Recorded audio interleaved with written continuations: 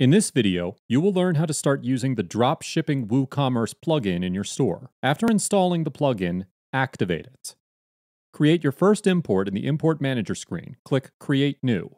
Now, enter the URL address of your CSV or XML file. The address will be most likely provided by your wholesale partner. You may also enter here the URL of the file located on your server. Then click the Import File button. After some time, depending on the size of your file and server parameters, you will see the message.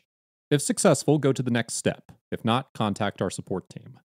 In the next screen, you may choose which is the proper XML tree element. The one should contain all information about the products, like title, description, stock quantity, and price. All parameters should be visible in the tree element in the file preview. Map the XML parameters with WooCommerce product fields. Start with the product title. From the right side, drag and drop the XML tag containing the product name. Do the same with the product description. You may add multiple tags and inner values of the tags. Also, you can add your own text in the description using the text editor and its elements.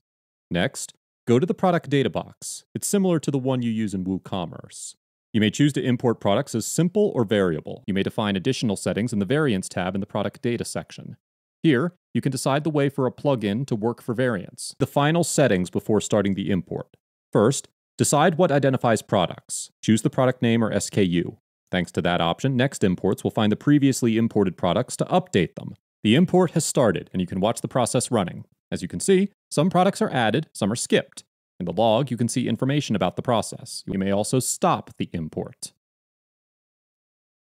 Now, open the new tab with one of the new products and check if everything is correct. If there is something missing, for example in the description, go to the Import Manager screen.